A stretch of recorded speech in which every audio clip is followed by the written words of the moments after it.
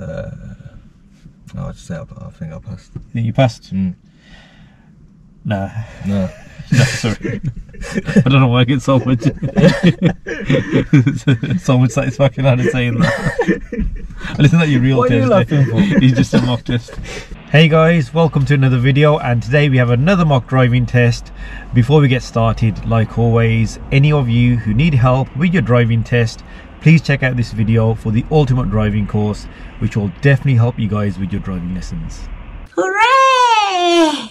So this course really filled my knowledge gaps and I became more confident. After watching some of the videos on the course, I felt really comfortable with the extra knowledge. Before I passed my driving test, I was really nervous. It really helped me have more confidence, and I would take what I learned during the course into my lessons and really aid that. the videos obviously help you because you're going into that lesson knowing exactly what you're going to do and just having that knowledge just makes that lesson faster and you feel a lot better 38 easy to understand, precise videos covering every single topic required to pass the driving test.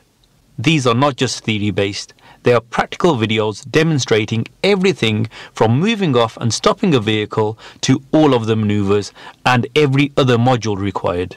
So if you're lacking knowledge, or maybe your instructor has forgotten to cover something, or you're just not grasping a certain topic, then this course has it covered. You can watch the videos before your driving lessons, which means you'll get into the car knowing exactly what to do. This will definitely save you time on your lessons. Okay, so today the learner driver is TJ, and um, guys, for those of you who are watching the first time, TJ hasn't had any driving lessons with me. I'm meeting him for well, not meeting him for the first time because I actually um, know him well, know his dad well. Um, but TJ is learning with one of our driving instructors from DGN, who is Ranj, quite a good instructor. And um, yeah, TJ wanted to, to do a mock test for the channel because he's got his test coming up in a few weeks, and he wants to see if he's uh, ready or not. Yeah, you think you're ready? Yeah, hopefully. Okay, Yeah. cool. Any parts of your driving uh, which you think you need to improve on or you mess up on? Um, yeah, just small little things that just remaining like focused. Um, but no, that's technical stuff. I'm quite quite good with it. Okay, cool. Um, so how many lessons have you had roughly? Roughly about I'd say 15. 15. Is it one hour ones or Uh, hour and a half. hour and a half ones? Yeah. Okay, so that's about 22, 22 and a half hours yeah, roughly? rough- roughly, yeah. Cool. Okay, so um, have you been through the show me tell me questions? Not yet. Me and me and Ranj are supposed to go through them, but Okay, cool. So I'll leave that for now, yeah? Yeah, okay. yeah. And you've watched, you've watched some of the mock tests before, yeah? yeah, I watched Okay. some of them. Cool. So I won't um, say anything if you do make a fault here Yeah. dur- during the drive. Yeah, we'll Yeah. talk about the. Uh, uh, we'll talk about the faults at the end of the test. Yeah. Okay. But for you, uh, for those of you who are watching, any faults that um, TJ does do, any serious faults will be talked about and marked in red text, and any normal driving faults will be in amber text. Um, any questions before we start? No, no. Cool. So uh, whenever you're ready, TJ, if you could um, move off. And TJ hasn't been learning in this car. It's going to be the first time he's driving this car, so it might take a bit of time to get used to. Is your test book for Wolverhampton Test Centre? Wolverhampton. Yeah. Okay, cool. So you, you may be familiar with some of the routes I'm going to take you on, yeah?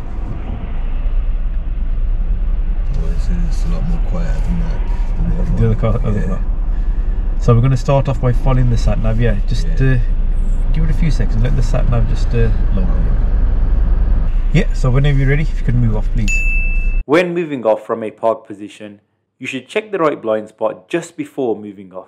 TJ does check the right blind spot, but then takes a few seconds before he moves the car. He should have checked it again just before moving off, as the situation could have changed. You will arrive at your destination at 1:48 p.m.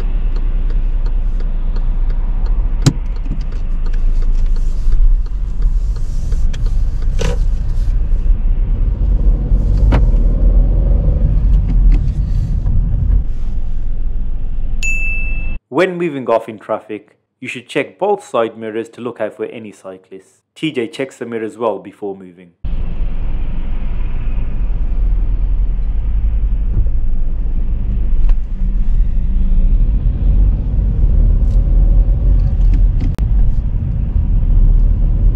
After 300 yards, cross the roundabout, second exit.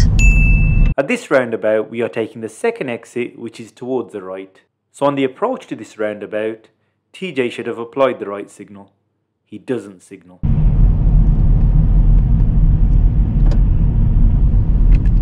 Cross the roundabout, second exit.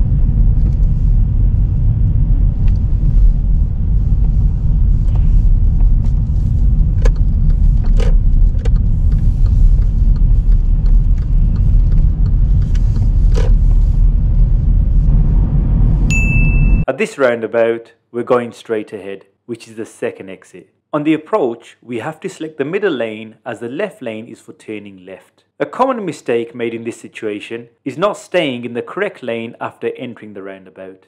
TJ sticks to his lane well and shows good lane discipline.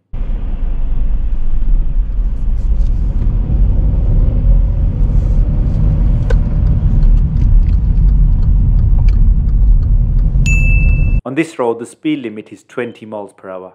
TJ notices this and drives at the correct speed.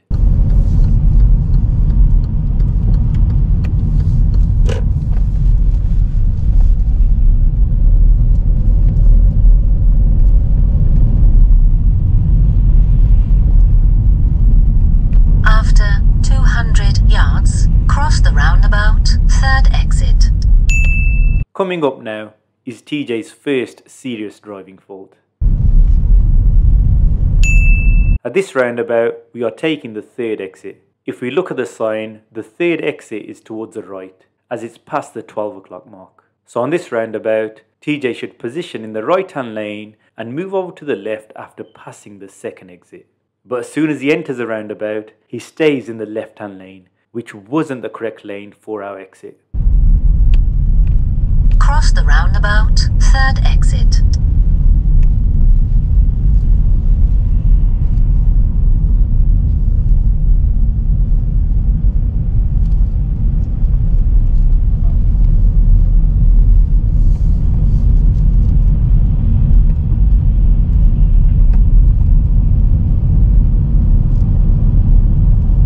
Take the exit.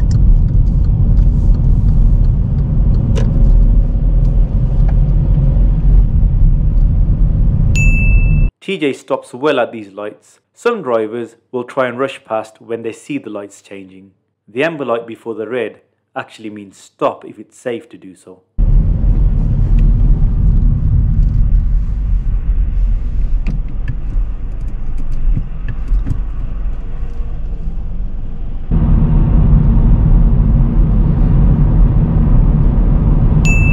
For those of you who are regular viewers, know that I always teach you guys to select the lanes according to signs and road markings and not always rely on the sat nav. He looks at the sat nav and gets into the right hand lane. But if you look at the sign, the exit that we are taking is straight ahead, so he could have used the middle lane. Luckily, the right hand lane can also be used to go straight ahead at this roundabout. This wasn't a driving fault, but like I said earlier, always look out for the signs and markings before selecting your lane on approach to a roundabout. Cross the roundabout, third exit.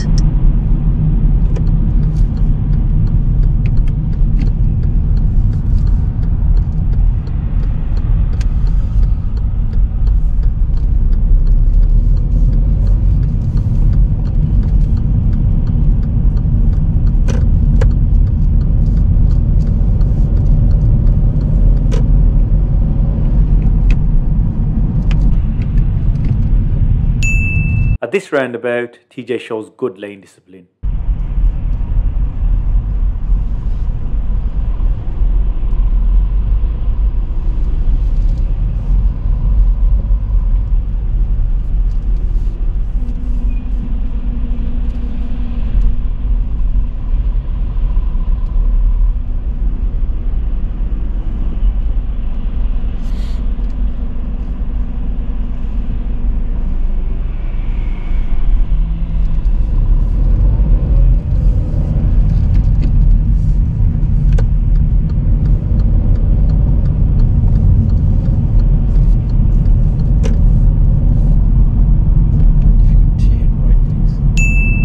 Right turn is on a bend. I have seen many learners position incorrectly by steering too much to the right instead of following the bend to get a good view of the oncoming vehicles before turning. TJ positions really well.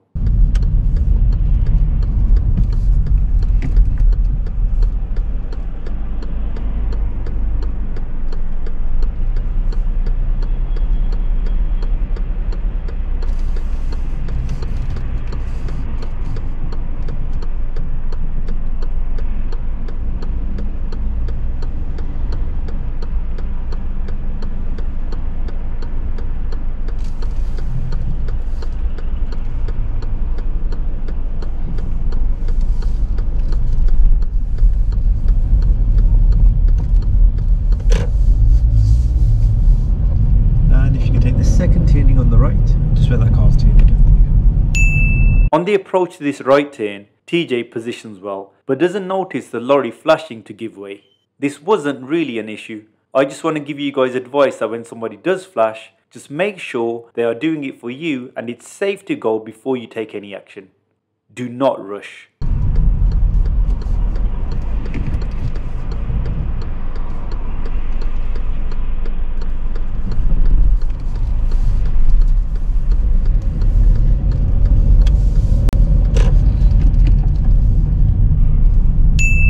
Here TJ selects second gear slightly too late, so struggles to build up speed.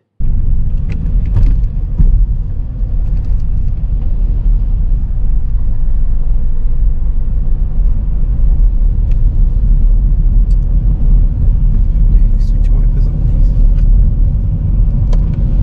And park up anywhere safe on the left, please. When parking up, TJ touches the curb.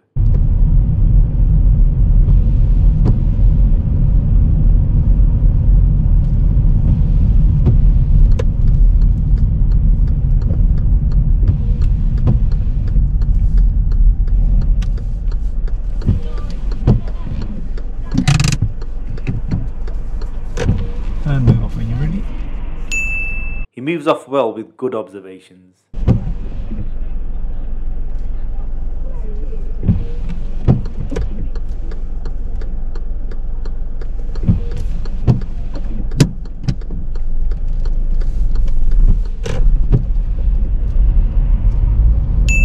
Here we have a stop sign. So when TJ gets to the end of this junction, he should fully stop the car.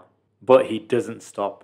And when we discussed this at the end of the test, he admits that he didn't notice any stop sign. At the end of the road to the left.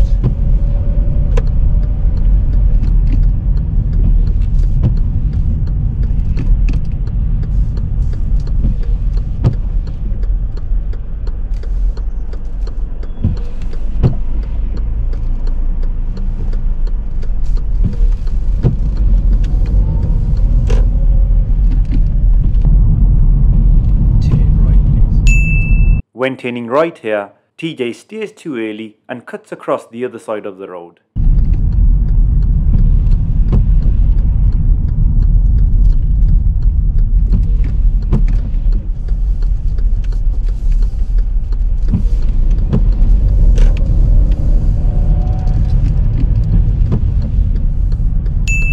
Now I'll be asking TJ to carry out the reverse parallel parking maneuver. When I ask him to do the maneuver, he does have a slightly worried look on his face. Okay, see the silver car here? Yeah. on this parking lot, yeah? We could use that car to carry the reverse parallel parking maneuver. Yeah? So pull up next to it and then park up behind, fairly close to the curb, leaving it about a car length from the front of our car and the back of that car, yeah? Okay.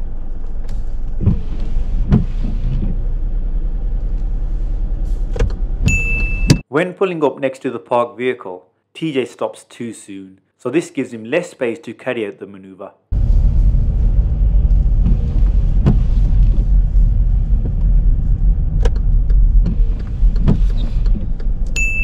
As you will always hear me say, before reversing in any maneuver, you must look all around and out of the back window.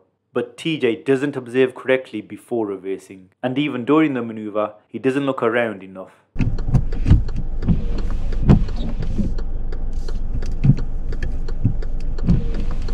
Yeah, yeah.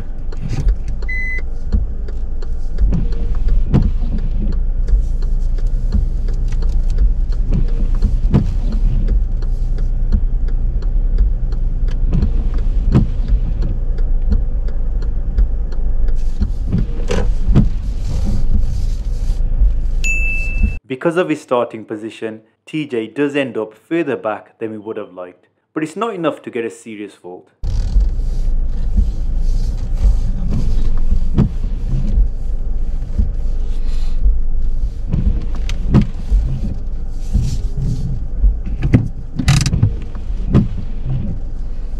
Okay. Uh, move off whenever you're ready, please.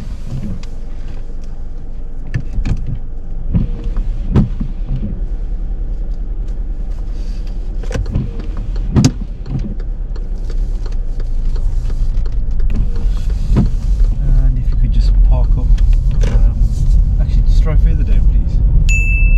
Now we are back at the test centre and TJ's driving instructor is parked up on our right. So we decide to call him and ask him to join us for the feedback. TJ did think that he had passed this mock test. Okay, so um, your instructor's here, Ranj. Yeah. Should we get him in the car for the result? Yeah, we can see his rea- reaction as well. Yeah. Switch off the engine for me and take out the key. Reverse parallel park outside. Right, let's give him a quick call, tell him to jump in the car. You're right, Ranj? Yep. Yeah, uh, um, could you uh, come in uh, for the result? Yep. No worries. Okay, you're going to be on camera, yeah? Oh, I don't think he knows. You don't seem camera shy. Nah, he's not. Nice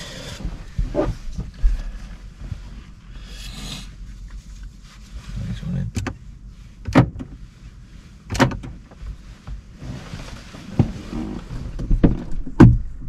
To get ready in case he tries to choke hold me from behind. How you doing, Ranj? I'm good, man. You okay? I'm good. Just to warn you, you're on camera, yeah? Okay. Okay, so we just come back. Um, so we st- we didn't start from here. We started from uh, Wednesbury, yeah, and um, yeah, we headed towards here. And yeah, we just finished. So um, TJ, how do you think you did? Think you passed or Uh, failed? It's hard to say because I know there's a couple little things I slipped up on, but Okay. um, overall I don't think I did too bad. You think you passed or failed? Uh, no, I'd say I, I think I passed. You think you passed? Mm. Nah, No, no, sorry. I don't know why I get so much so much satisfaction out of saying that. Listen, that your real What are you test. laughing for? He's just a mock test. Okay, but you know what? Overall, your driving is is really smooth. The way you approach roundabouts, your Yeah. distance from parked vehicles, Yeah. noticing s- stuff ahead. yeah, Really good. yeah. Yeah, really good. Um, but yeah, they were a, the first one. I'm not sure if Randy's going to agree with me on this, but um, um, the one fault, yeah, Mm. it was near the start. Yeah, we were following. Um, you're following the sat nav. Mm. Yeah. So um, you know that Ranj, you know that road that we come down, um, the one with the s- speed humps. It's in um, where Wednesbury. It's Yes. at yeah, and then you come out by that big, funny shaped uh, roundabout. Yeah. Yeah. So following the sat nav, he said the said exit. Yeah. Yeah. Okay. Just want to in the right lane. Yeah. So yeah, that's gonna. So you know the sign there. Yeah. If you like, you know if you look at the signs, yeah. Yeah, So that sign there, it was like that there, just Mm. there. Yeah. So, which way is that? that's uh, like right in. Right. Yeah. Anything after that twelve o'clock mark is classed as a right turn. Yeah. Yeah, So as you enter, the, there's only one lane there when you first first approach, but it splits up into like three three lanes. Yeah. yeah. Which lane should you have been in when you once you enter the roundabout for turning right? Well, see, that's what I thought it was gonna be right. Yeah. But it's, was it? It was left. innit? Yeah. You stayed. in- You, you was you were supposed to stay in the right hand lane. Yeah. Yeah. Until you got to that second exit and then moved over. Yeah. But from the start, you stuck to the left. Yeah. Yeah. And that lane is for the first two exits. All right. Okay. Yeah. So you're in the wrong lane there. As soon as you enter the roundabout. Yeah. Okay. And um, the roundabout before that, I didn't mark that as a serious, but there was, it was a clear right turn. You're on the, the small island. Yeah. And you should have signalled right on approach. You didn't signal right. I didn't mark. I didn't mark that as a serious fault because it didn't really affect anyone. Yeah. Mm. Okay. But something like that, if there are other vehicles waiting there, Mm. that could easily turn into a serious fault. Yeah. Yeah. Okay, so that was uh, the first one, and then the second one, Yeah, like you were saying, you wanna might want to get it before before Ranj might choke you or something. Yeah. Okay. So then the stop sign. We came up to a stop sign. Yeah. Yeah. What are you supposed to do at a stop sign? Stop. Which stop sign was this? Did you notice we were? We, did you notice any stop sign on the way? Probably didn't notice any stop sign. there you go. Yeah. So you almost stopped, but you didn't. You didn't fully stop the car. Yeah. Yeah. At a stop sign, you're supposed to fully stop the car. Yeah. It was at that place. You know when I made you park up, and there was that family walking past. Yeah, The yeah, two yeah. kids and that. Yeah. So when you when you parked up, you slightly touched the curb. Then I asked you to move off. As soon as you moved off, I said turn left at the end of the road. That was a Mm. stop sign. You didn't notice it. Nah, it's pretty nice. Yeah, you didn't notice the stop sign. Yeah. Before that, the sharp bend and everything, you did, all- did you did all that really well. Hmm. Yeah. And um, so that was your second fault, and the third and final one, uh, the parallel parking maneuver. Yeah, that was bad. What what was bad about it? You think? I don't know. It's just hard because uh, me and Ranj went through it the other day. Yeah. And it's like, so I was thinking, alright, so I need to get here. Then I do it half turn. Then when I get there, then I feel lucky once the handles like near the curb in the mirror, but it's it's proper techie, man. Yeah, see, with that one, there's loads of different techniques. Like Yeah. Ranjul have his own technique, I love my own technique. Yeah. Yeah. But I think what let, you down there was your starting position. Yeah. Yeah. You were, you know, when you stop, you're quite far back anyway. Mm. You should at least pull the yeah, level. I was then trying to get it um like lined up with the uh, front, the front wheel. try and do that where you know as you're reversing. Yeah. Yeah. Okay, because you don't want to put yourself in a position where you've already stopped too far back. Yeah. You then, you you kind of just about did it though. Mm. Yeah. You're a bit far out from the curb, and if you'd come back any more, I would have marked that as a serious fault because there was quite a distance. Yeah. Yeah, but you, you did like back on a distance is still okay. Yeah. Mm. Okay. So accuracy wise, we got there in the end. Yeah. Okay. But your observations before you started racing, where should you look with any maneuver? Uh, behind. Yeah, all around. All so around. before you started reversing, did you check all around? No, but I was doing the. Uh, when you started, then you had a had a, had a few checks, yeah, Yeah, and yeah. and there was a junction on our right as well as you were doing the maneuver as well. Mm. There was a uh, red car that came from the junction but went the other way, Mm. and you hardly looked around that side when that vehicle was there. Yeah. Okay, so we should have stopped because that vehicle could have easily turned this way as well. Mm. Yeah, but you weren't you weren't looking at You you were focused on um, your position. Yeah, so it wasn't um, it wasn't the accuracy. It was your observations. Mm. Observations are a key part of any maneuver. All right. Okay, so again, these three faults could have easily been avoidable. Yeah, avoided. You know. Yeah, yeah. yeah. So Yeah. the first one, like the other roundabouts where you turn right, you you did, you did them well. Mm. Yeah, even when you're going straight ahead, you get your position really well. Mm. The way you approach roundabout's really good. Yeah. Um, obviously the stop sign one, that should have uh, been avoided. Yeah. And then um, your observations. Mm. Okay. Uh, the other thing I'd say to be slightly careful of, you know, when you're moving off, your blind spot check. Yeah, you do do it. Mm. Then sometimes we take a few seconds moving off. Yeah. Check it again just before you move. Yeah. Yeah, yeah. Okay. Mm. But yeah, um, hopefully these won't happen on your real test now. No, no, not what to work on. Okay. Just observations and um, that's Yeah. pretty much the main thing. Stopping at a stop sign. Yeah, that's that's one observation. you know what I mean? Yeah. And then uh, Always be looking out for signs. Yeah. Yeah. And um, you've got access to the ultimate driving course. Yeah. yeah, yeah. You know the sign section, um, the independent driving. Mm. Try and look at that. Yeah, that'll help you. Like, um, you know, with which lane to select and how to look out for the signs. Mm. Yeah. You know the um.